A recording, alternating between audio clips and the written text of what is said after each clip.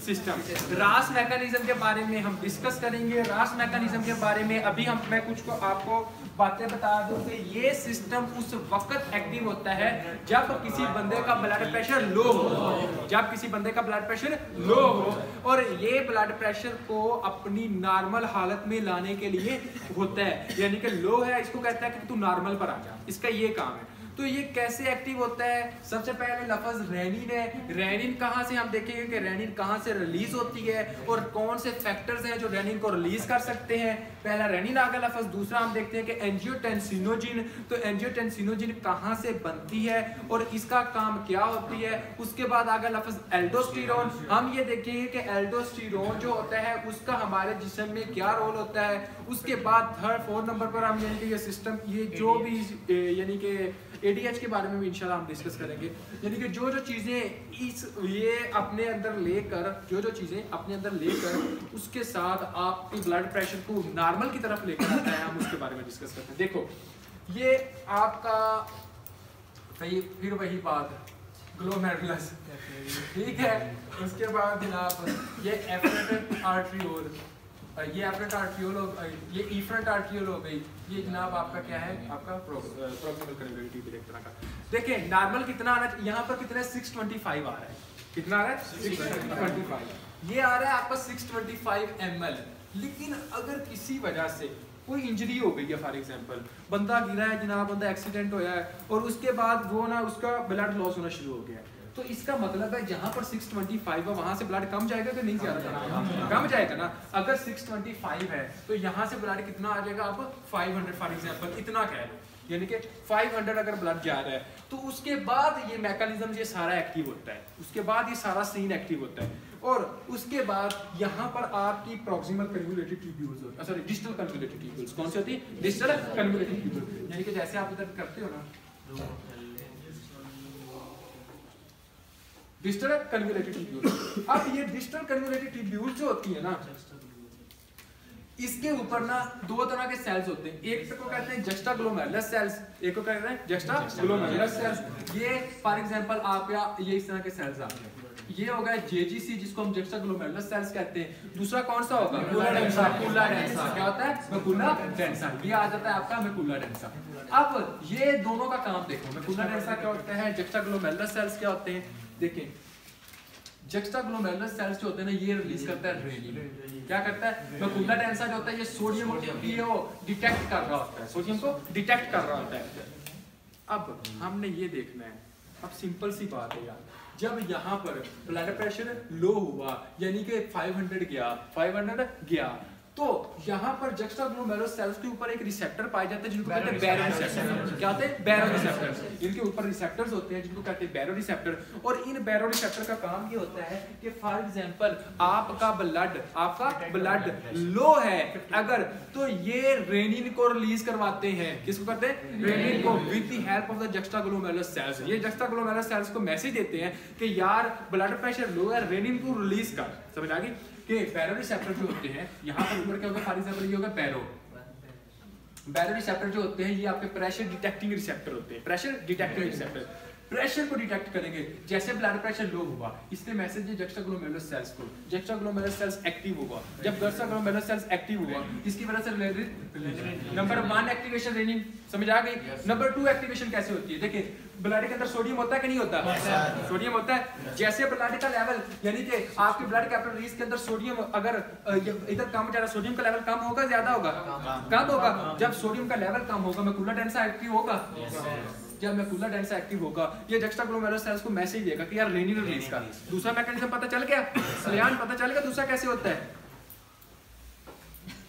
इधर ही है। नींद में तो नहीं है। पक्का? देख ब्लड के अंदर सोडियम होती है ना?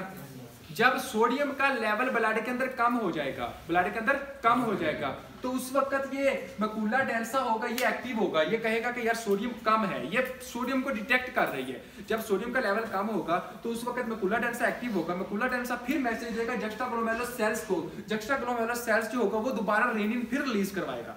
दो मैकेनिज्म हो गए। थर्ड मैकेनिज्म क्या होता है? जैसे ही आपका ब्लड प्रेशर लो होता है, आपका सिंपैथेटिक नर्वस सिस्टम एक्टिव हो जाता है कंपनसेशन के लिए। कंपनसेशन होता है कि एक तरह का किसी भी यानी कि आप ये कह सकते हो कंपनसेशन मैकेनिज्म वो मैकेनिज्म होता है जब आपका कोई सिस्टम फेल होने की तरफ़ जा रहा है और दूसरा सिस्टम उसको सपोर्ट कर रहा है। समझ आ रही है? अब ये कंपनसेशन में क्या होता है कि आपका ये सिंपैथेटिक नर्वस सिस्टम एक्टिव होता है और आपके जक्स्टा ग्लोमेरुलर सेल्स के ऊपर आकर यहाँ पर एक रिसेप्टर जिसको बीटा वन रिसेप्टर इसका कहते हैं, ठीक है? उधर आकर ये फिर रेनिन रिलीज़ करवाता है। क्या करता है? रेनिन रिलीज़ करवाएगा अब पता चलेगा रेनिन कितने तरीकों से रिलीज़ हो रहा है? तीन तरीकों से। सबसे पहला तरीका कौन सा? आपका सबसे पहला कौन सा होगा? बैरो रिसेप्टर यानी कि ब्लड कम है बैरो रिसेप्टर कहते हैं, यार ब्लड कम है, इसको एक्टिव कर जेक्स्ट्राग्लोमेरुलर सेल्स एक्टिव हो जाएगा रेनिन रिलीज़ होगा। दूसरा जो मेथड होगा मैकुला डेंसा सोडियम को रिजेक्ट करता है। जब सोडियम का लेवल कम होगा मैकुला डेंसा एक्टिव हो जाएगा। वो कहता है, भाई सोडियम बहुत लेवल कम है, तू एक्टिव हो रेनिन फिर रिलीज़ होगा। थर्ड नंबर पर क्या होगा? आपका sympathetic nervous system as a compensation के तौर पर काम करता है। बीटा वन रिसेप्टर्स होते हैं, जो कि रेनिन को रिलीज़ करवाते हैं, जिसकी वजह से आपका रेनिन अब रिलीज़ हो गया। अब रेनिन रिलीज़ होकर रेनिन एंजाइम है क्या हार्मोन वेरी गुड रेनिन क्या है इंजाइम अब ये ब्लड के अंदर रेनिन चला गया। अब इसके बाद क्या होता है? एंजियोटेंसिनोजिन जो होता है ये हमारे लीवर से प्रोड्यूस हो रहा होता है। कहाँ से प्रोड्यूस होता है? लीवर से। ये नॉर्मल एंजियोटेंसिनोजिन प्रोड्यूस हो रहा होता है। अब ये रेनिन जनाब गया ब्लड के अंदर? रेनिन कहाँ गया? ब्लड कैपिलरीज के अंदर चला गया। उसके बाद ये फॉर एग्ज़ाम्पल लीवर है। यहाँ से क्या होगा? एंजियोटेंसिनोजिन क्या होगा? एंजियोटेंसिनोजिन हाँ जी। नहीं नहीं नहीं इसके ऊपर लास्ट टाइम बहस भी हुई थी। मैंने इंजाइम ही कहा था। आपने मेरे ख्याल में लास्ट टाइम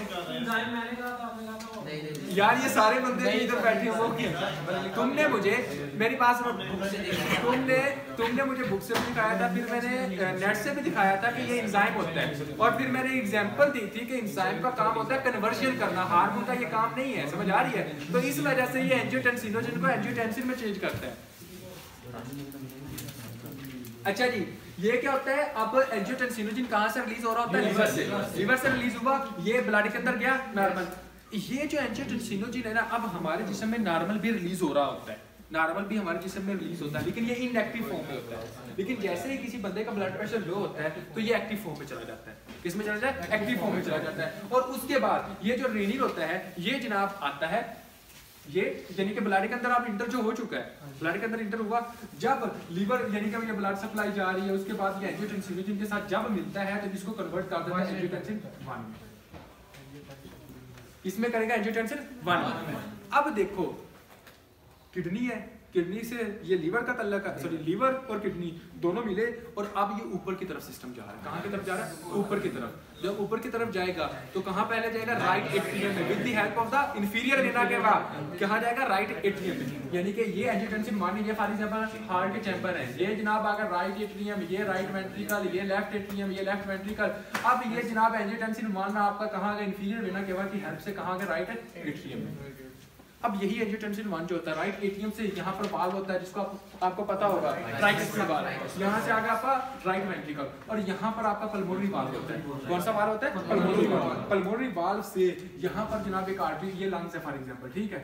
ये लंग्स है। यहाँ पर क्या होती है? पल्मोनरी आर्टरी कहाँ आती है? पल्मोनरी आर्टरी पल्मोनरी आर्टरी आती है ये जनाब लंग्स में ले आ जाती है। ब्लड को लंग्स में ले लंग्स की एंडोथीलियम में गैसेस का एक्सचेंज होता है? वही वहाँ होता है। और एंडोथीलियम पर वहाँ पर एक एंजाइम पाया जाता है जिसको कहते हैं एंजियोटेंसिन कन्वर्टिंग एंजाइम क्या कहते हैं एंजियोटेंसिन कन्वर्टिंग एंजाइम यानी कि यहाँ पर क्या होगा? ACE AC e। होगा। एंजियोटेंसिन कन्वर्टिंग एंजाइम ये हो गया। एंजियोटेंसिन कन्वर्टिंग एंजाइम जो होता है वो एंजियोटेंसिन 1 को एंजियोटेंसिन 2 में कन्वर्ट करता है। अब एंजियोटेंसिन 2 जो होता है अब हम इसको देखते हैं। देखो। ये जो है, अब ये क्या है? हमारी किडनी है। इसके ऊपर थोड़ा सा यानी कि लीवर होता है। लीवर से एंजियोटेंसिनोजिन नॉर्मल बढ़ रहा है। समझ आ रही है? अब ये ब्लड के अंदर चला गया। रेनिन भी रिलीज़ हुआ, वो भी ब्लड के अंदर चला गया। और रेनिन ने एंजियोटेंसिनोजिन को एक्टिव फॉर्म में चेंज किया और उसके बाद इसको एंजियोटेंसिन 1 में चेंज कर दिया। अब ये एंजियोटेंसिन 1 है तो ये नीचे की तरफ़ से ब्लड जो अब ऊपर की तरफ़ जाएगा एंजियोटेंसिन 1 से। जैसे ये हार्ट के अंदर हुआ enter with help of the inferior vena के राइट एटीएम में सबसे पहले गया। उसके बाद ये राइट वेंट्रिकल में गया। उसके बाद ये पल्मोनरी आर्टरी से लंग्स की तरफ़ चला गया। कहाँ से? लंग्स की तरफ़। और लंग्स में जब जाएगा, हमको पता है गैसेस का एक्सचेंज होना है। तो वहाँ पर लंग्स के एंडोथेलियम जो होती है एल्व्यूलाई वहाँ पर एक एंजाइम होता है जिसको कहते हैं एंजियोटेंसिन कन्वर्टिंग एंजाइम वो एंजियोटेंसिन 1 को एंजियोटेंसिन 2 में चेंज कर देगी। अब हम ये देखते हैं कि एंजियोटेंसिन 2 का क्या काम है। समझ आ गई सबको? कोई क्वेश्चन अभी तक किसी का? देखो इसने यानी कि आपका ब्लड प्रेशर जो है वो नॉर्मल लेकर आना है। इतना तो हम सबको पता है। ब्लड प्रेशर जो होता है वो नॉर्मल लेकर आना है। लो है। सबसे पहले हमको पता होना चाहिए कि ब्लड प्रेशर होता क्या है। ब्लड प्रेशर जो होता है, वो सिस्टोलिक और डायस्टोलिक सिस्टोलिक और डायस्टोलिक यानी कि ब्लड प्रेशर जो है सिस्टोलिक और डायस्टोलिक ये होता है, ठीक है? ये आपका ब्लड प्रेशर है। और ये दोनों मिलकर आपका, यानी कि सिस्टोलिक और डायस्टोलिक दोनों मिलकर आपका ब्लड प्रेशर को मेंटेन करते हैं। दोनों मिलकर आपका ब्लड प्रेशर को मेंटेन करते हैं। देखें डायस्टोलिक जो होता है ना, वो आपका डिपेंड करता है वेसल्स के ऊपर। इसके ऊपर ब्लड वेसल्स ये आपका डिपेंड करता है हार्ट के ऊपर। इसके ऊपर हार्ट के ऊपर। जितनी ज़्यादा रेजिस्टेंस होगी, उतना ज़्यादा आपका डायस्टोलिक ब्लड प्रेशर ज़्यादा होगा। जितना ज़्यादा आपका रेजिस्टेंस होगी, उतना ज़्यादा आपका डायस्टोलिक ब्लड प्रेशर ज़्यादा होगा। और अगर फॉर एग्ज़ाम्पल ये वेसल इतनी, इसको कम कर दिया, इसको लेकर क्या कंस्ट्रक्शन की, क्या की? कंस्ट्रक्शन की। जब ये कंस्ट्रक्शन हो गई तो रेजिस्टेंस होगी? होगी ना? फॉर एग्ज़ाम्पल ये दरवाज़ा है, दरवाजे से पाँच बंदों ने निकलना धक्के लगाएँगे? लगाएँगे? यानी कि कंस्ट्रक्शन होगी, इस वजह धक्के लगाकर बाहर निकलेंगे। तो जितनी ज़्यादा रेजिस्टेंस होगी, उतना ज़्यादा आपका टोटल पेरिफेरल रेजिस्टेंस ज़्यादा होगी। टोटल पेरिफेरल रेजिस्टेंस जितनी ज़्यादा होगी, उतना ज़्यादा आपका डायस्टोलिक ब्लड प्रेशर ज़्यादा होगा। समझ हमारा काम क्या होता है? ब्लड प्रेशर को मेंटेन करना। और ये क्या करता है एंजियोटेंसिन 2 एंजियोटेंसिन 2 जाता है ब्लड वेसल्स के ऊपर और उनकी जाकर वेसल कंस्ट्रिक्शन करवाता है। क्या करवाता है? वेसल कंस्ट्रिक्शन करवाता है। जब इनकी वेसल कंस्ट्रिक्शन होगी, आपका डायस्टोलिक ब्लड प्रेशर ज़्यादा हो जाएगा। जब डायस्टोलिक ब्लड प्रेशर ज़्यादा होगा तो इसका मतलब आपका ब्लड प्रेशर बढ़ रहा है। एक ये केस है ठीक हो गया? अब ये देखो, दूसरा क्या होता है? आपकी ये जनाब, दूसरे नंबर पर ये आपकी आ जाती है, फिर ग्लोमेरुलस फिर इस तरह, फिर इस तरह, ये फिर कैप्लनी ये सारा सीन ये इस तरह करता है कि एंजियोटेंसिन टू जो होता है दूसरे नंबर पर ये काम करता है कि आपकी जो इफ्रंट आर्टरी जो होती है इफ्रंट आर्टरियोल इसको कंस्ट्रिक्ट करवाता है। देखो क्यों कंस्ट्रिक्ट करवाता है? हाँ जी? हाँ जी। अब देखें, उसका मेन काम है कि पहले ही ग्लो ग्लोमेरुलस को ब्लड कम मिल रहा है? पहले ही ग्लो ग्लोमेरुलस को ब्लड कम मिल रहा है? और अगर फॉर एग्जांपल इसको डायलेट करवाएगा तो ग्लो ग्लोमेरुलस की कैपिलरीज जो होंगी, यानी कि ये वाला इसको नेक्रोसिस नहीं हो जाएगी? होगी ना। तो इसने इसको भी तो बचाना है ना। इस वजह से एंजियोटेंसिन 2 जो होता है, वो इसकी कंस्ट्रिक्ट करवाएगा। जब कंस्ट्रिक्ट करवाएगा ब्लड इधर आएगा। इधर आएगा। समझ एक ये काम हो गया। उसके बाद ये काम क्या करता है? उसके बाद दूसरे नंबर पर ये काम करता है कि जनाब देखिए, अब ये एक तो रेनल प्रॉक्सिमल ट्यूब्यूल्स है। अगर ये ट्यूब्यूल्स में ब्लड आया और इसको अगर दोबारा हम दोबारा, यानी कि सारे फ्लूड को दोबारा ब्लड के अंदर ना लेके गए तो ये तो एक्सक्रीट हो जाएगा। एक्सक्रीट होगा ना तो फिर ये जो काम के, वो तो किसी फ़ायदे का नहीं है। नहीं ना फ़ायदे का। अच्छा एक क्या होगा, इसने ये किया और यहाँ पर आकर आपके एक रिसेप्टर्स होते हैं। जो मैंने अभी बताया था आपको डोपामीन होता है, उसके बाद नाइट्रोकॉक्साइड होता है ये आप करवाते हैं, इसको डाइलेट करता है। जब डाइलेट करवाएगा तो आपका ज़्यादा ब्लड इधर जाएगा। ज़्यादा ब्लड जब जाएगा रेनल ब्लड फ्लो ज़्यादा होगा जीएफआर ज़्यादा होगा। समझ आ रही है सबको? जीएफआर ज़्यादा होगा। और एक बंदे, मैंने जो बंदे non steroid anti inflammatory drug use करते हैं, यानी कि अभी आप, आपको नहीं पता होगा, यानी कि पेन किलर अभी आपको इतना बस बताऊँ पेन किलर वो पेन किलर जो होती है ना, वो प्रेस्टाग्लैंड प्रोस्टाग्लैंडिन और इन्फ्लामेटरी मेडिएटर्स को ब्लॉक कर देती है। समझा रही? ब्लॉक अब ये थोड़ा सा पैथोलॉजी वाला सवाल है। अब इसको ये ब्लॉक करेंगे। जब पीजी आई टू और ये ब्लॉक हो गए तो ये जो डायलेट हो रही थी किसकी वजह से हो रही थी? इन्हीं वजह से हो रही थी। जब फिर डायलेट नहीं होगी और ये कंस्ट्रिक्ट होगी। जब कॉन्स्ट्रिक्ट होगी लंबे अरसे तक अगर आप यूज़ करोगे जब कंस्ट्रिक्ट होगी तो आपकी जो ग्लोमेरुलस की कैपिलरीज जो गुच्छा है उसको ब्लड मिलेगा? नहीं मिलेगा। जब ब्लड नहीं मिलेगा तो नेक्रोसिस होगी कि नहीं होगी? इस वजह से कहते हैं कि किडनी के यानी कि जो ज़्यादा ये मेडिसिन यूज़ नहीं करनी चाहिए। हाँ जी? यानी कि ये medicine non steroid anti inflammatory drug ज़्यादा यूज़ नहीं करनी चाहिए इसकी वजह से क्या होगी? नेक्रोसिस होगी। समझ आ गई सबको तो वो क्यों हो गया? वो किडनी को डैमेज कर रही होती। किस तरह डैमेज कर रही होती? आप आप डॉक्टर आप समझा सकते हो। ठीक हो गया? ओके हो गया जनाब। इसके बाद अगर ये फ्लूड जीएफआर अब बहुत ज़्यादा आ गया है अब यही जीएफआर अगर यूरिन के अंदर आ जाएगा तो ये तो किसी फ़ायदे का ही नहीं है। लेकिन हमने अब इसको रीअब्जॉर्ब करना है। रीअब्जॉर्ब करना है। अब हम इसको रीअब्जॉर्ब कैसे करते हैं? सबसे पहले देखो आपका किडनी के ऊपर हमने एक हार्मोन पढ़ा था जिसको कहते हैं एल्डोस्टेरोन एल्डोस्टेरोन नहीं हमने पहले नंबर पर या फॉर एग्जांपल ये आपका किडनी है ना इसके ऊपर एक तरह का एक ये ग्लैंड होता है। इसको कहते हैं एड्रीनल ग्लैंड इसके दो से दो लेयर्स होती है एक को कहते हैं एड्रीनल कॉर्टेक्स एक को कहते हैं एड्रीनल मेडुला एड्रीनल कॉर्टेक्स से इसकी भी तीन लेयर्स होती है। एक होती है जनाब zona glomerulosa zona fasciculata zona यानी कि उधर जाने की ज़रूरत नहीं है। सिंपल सी बात याद करो यार यहाँ यहाँ से कोर्टेक्स से आपका एल्डोस्टेरोन रिलीज़ हुआ। क्या हुआ? एल्डोस्टेरोन रिलीज़ हुआ। अब ये एल्डोस्टेरोन रिलीज़ होगा। इसका मतलब क्या होता है? एल्डोस्टेरोन जो होता है, ये आपकी ट्यूब्यूल्स के ऊपर जाता है, जो कि किडनी की ट्यूब्यूल्स होती हैं। यहाँ पर ये गया ये ऐसे ही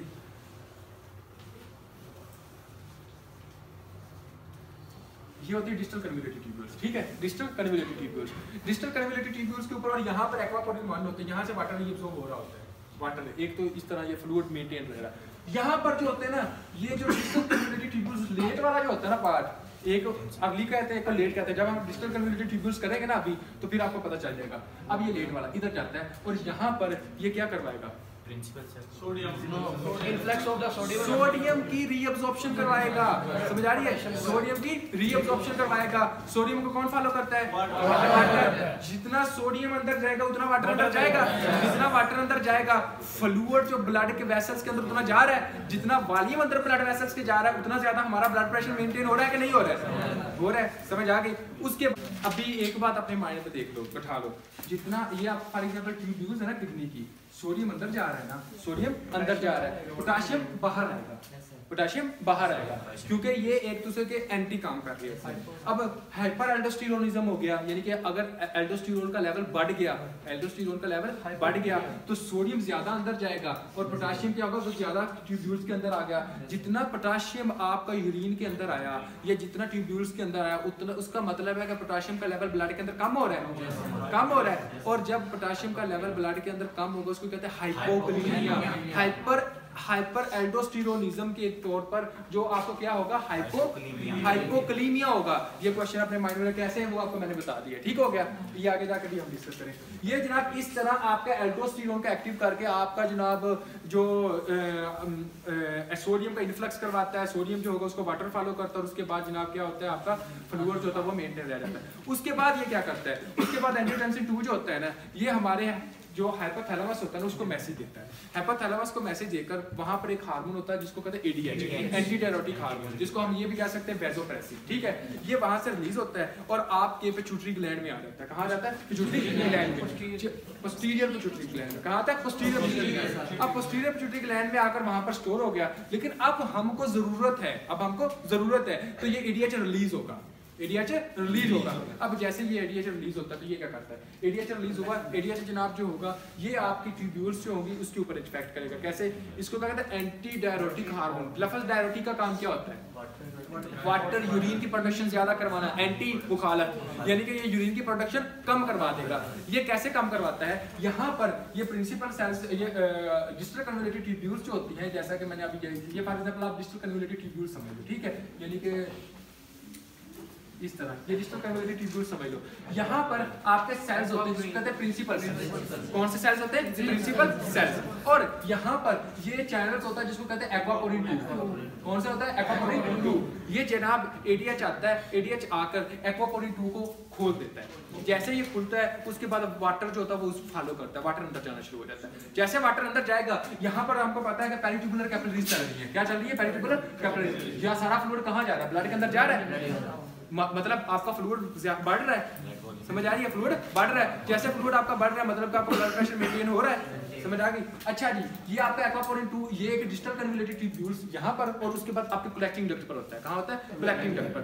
कलेक्टिंग डक्ट क्या होती है? यानी कि जो आपका यूरिन वाला ये एंड वाला ये फॉर एग्जांपल आपका कलेक्टिंग डक्ट है। यहाँ पर भी आपके प्रिंसिपल सेल्स होते हैं। यहाँ पर भी आपके कौन से सेल्स होते हैं? प्रिंसिपल सेल्स यहाँ पर प्रिंसिपल सेल्स होंगे और यहाँ पर भी एक्वापोरिन 2 को चैनल्स को एक्टिव करेगी। जब एक्वापोरिन 2 चैनल्स को एक्टिव करेगी ज़्यादा से ज़्यादा फ्लूइड अंदर जाएगा और आपका ब्लड प्रेशर क्या होगा? वो मेंटेन कोई क्वेश्चन अभी तक? अब वही बात। कि अगर आपका एस आई का लेवल बढ़ जाता है क्या होगा? सेरिब्रल वो क्यों? बढ़ता क्यों है? तो फॉर एग्जांपल अगर हाइपोथैलेमस की कोई ट्यूमर है अगर फॉर एग्जांपल पिट्यूटरी की ट्यूमर है तो उस वजह से क्या होगा? आपका एडीएच का लेवल जो होगा वो ज़्यादा होगा। जब एडीएच का लेवल ज़्यादा होगा तो आपका फ्लूइड जो ट्यूब्यूल्स के अंदर है वो ज़्यादा से ज़्यादा ट्यूब्यूल्स या ब्लड के अंदर जाएगा। और जितना ज़्यादा से ज़्यादा ट्यूब्यूल्स के अंदर जाएगा तो उसके बाद आपकी ब्रेन की तरफ़ भी तो ब्लड ही जा रहा है ना तो वो सैरी ब्लड एमा करवा रहा है। दूसरी बात दूसरी बात दूसरी बात ये होता है डायबिटिक इंस्पाइटिस डायबिटिक इंस्पाइटिस इसका नाम क्यों रखा गया? क्योंकि हमको पता है डायबिटिस का जो बंदा होता है ना, उसको यूरिन बहुत आता है। वो तकरीबन तीन से चार मरतबा उसने यूरिन लाजमी करना है, सुबह, शाम यानी कि नॉर्मल अगर बंदा यूरिन करता है, चार से पाँच मरतबा वो करेगा, तकरीबन दस से बारह, इससे भी ज़्यादा करेगा। आ रही समझ? तो इसमें क्या होता है? इसमें ये होता है कि ये आपका डायबिटिक इंस्पाइटिस जो होगा, वो एडीएच रिलीज़ नहीं होगा। एडीएच रिलीज़ नहीं होगा। लेकिन अगर जब एडीएच रिलीज़ नहीं होगा, उसको हम कहते हैं सेंट्रल डायबिटिक इंस्पाइटिस यानी कि या जो किसमें मसला है, या तो हमारा हाइपोथैलेमस के साथ मसला है, या पिट्यूटरी ग्लैंड के साथ मसला है, जिसकी वजह से ये रिलीज़ नहीं हो रहा। नंबर वन दूसरा जो होता है, जो आपकी ट्यूब्यूल्स होती है ना ट्यूब्यूल्स या फिर ये ट्यूब्यूल्स के साथ कोई मसला है, जिसकी वजह से इसको कहते हैं नेफ्रोजेनिक डायबिटिक इंस्पाइटिस क्या कहते हैं? नेफ्रोजेनिक जिसकी वजह से जो फ्लूइड होगा, वो आपका इधर नहीं जाएगा और ज़्यादा से ज़्यादा क्या होगा? वो यूरिन आएगा।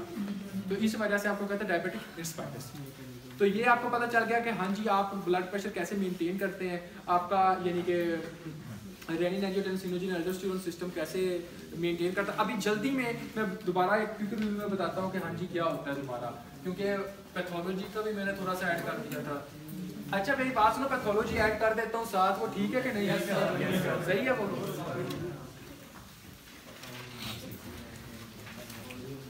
बंदा पूछता है कि जनाब रेनिन एंजियोटेंसिनोजिन एल्डोस्टेरोन सिस्टम करना है। आपने बताना सिर्फ़ और सिर्फ़ चार से पाँच मिनट में। ठीक है? आपने क्या बताना है? चार से पाँच मिनट। आप कैसे बता सकते हो? आपने ये कहना है कि उस वक्त एक्टिव होता है जब बंदे का ब्लड प्रेशर लो होता है। यानी कि जब कोई एक्सीडेंट हुआ या किसी भी वजह से बंदे ने कोई बात सुनी जनाब उसका ब्लड प्रेशर एकदम लो हो गया, सदमा वगैरह। समझ आई? उसके बाद क्या होता है कि आपका रेनिन जो होता है वो रिलीज़ होता है। क्या होता है? रेनिन कहाँ से रिलीज़ होता है? आपके बैरो रिसेप्टर्स होते हैं। ये पहले नंबर पर क्या होता है? बैरो रिसेप्टर्स ये क्या कहते हैं? जे जे जी एस जिसको कहते हैं जस्टाग्लोमेरुलर सेल्स ये आपका रेनिन रिलीज़ करवाते हैं। दूसरे नंबर पर आपने क्या बताना है कि आपका सोडियम जो होता है मैकुला डेंसा मैकुला डेंसा जो कि किसमें होता है? आपका सोडियम को डिटेक्ट कर रहे होते हैं। ब्लड के अंदर जब वॉल्यूम ही कम होगा तो सोडियम भी कम हुआ। मैकुला डेंसा एक्टिव हुआ, जब मैकुला डेंसा एक्टिव हुआ तो उसके बाद जनाब रेनिन रिलीज़ हो गया। चेष्टा करो सेल्स को। थर्ड नंबर पर जब हमारा ब्लड प्रेशर लो होता है, उसके बाद हमारा सिंपैथेटिक नर्वस सिस्टम एक्टिव होता है। सिंपैथेटिक नर्वस सिस्टम जो होगा, वो एक्टिव होगा यानी कि बीटा वन रिसेप्टर जो होगा, वो जो जेस्टाग्लोमेरुलर सेल्स को मैसेज देगा रेनिन रिलीज़ करेगा। यानी कि तीन तरीके ये हो गए रेनिन हो गया, उसके बाद जनाब यहाँ से लीवर है। लीवर यहाँ पर क्या है? एंजियोटेंसिन एंजियोटेंसिनोजिन ये नॉर्मल जो है, ये पैदा हो रहा होता है। उसके बाद ये रेनिन इधर से आता है, इसके साथ मिलता है और इसको एंजियोटेंसिन वन में चेंज कर देता है। किसमें चेंज करता है? एंजियोटेंसिन वन में। अब ये जो एंजियोटेंसिन वन होता है, ये जनाब हमारे कहा जाता है? इंफीरियर वेना केवा के through right atrium right ventricle और फिर पल्मोनरी सर्कुलेशन के थ्रू कहा जाता है? लंग्स में चला जाता है। वहाँ पर जो एक एंजाइम होता है, जिसका नाम होता है एंजियोटेंसिन कन्वर्टिंग एंजाइम क्या होता है? एसी अब ये एंजियोटेंसिन कन्वर्टिंग एंजाइम जो होगा वो इसमें चेंज करेगा एंजियोटेंसिन 2 में। समझ रहे अब ये एंजियोटेंसिन 2 क्या काम करता है? एंजियोटेंसिन 2 काम करता है एक तो आपका एल्डोस्टेरोन को एक्टिव करता है किसको एक्टिव करता है? ये जनाब आ गया एल्डोस्टेरोन दूसरा होगा एडीएच तीसरा होगा वेजोकंस्ट्रिक्शन उसके बाद आपका थर्स्ट मैकेनिज्म होता है और उसके बाद सिंपैथेटिक एक्टिविटी ठीक होगा? ये सारे मैकेनिज्म